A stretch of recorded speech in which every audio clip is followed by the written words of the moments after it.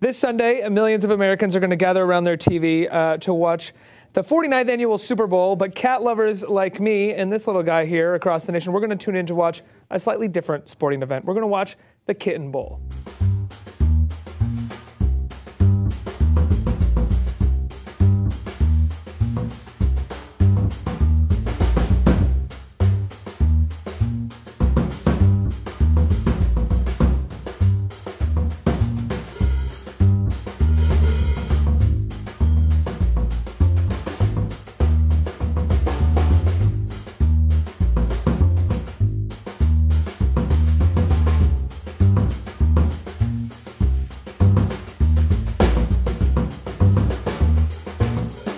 Our house and we were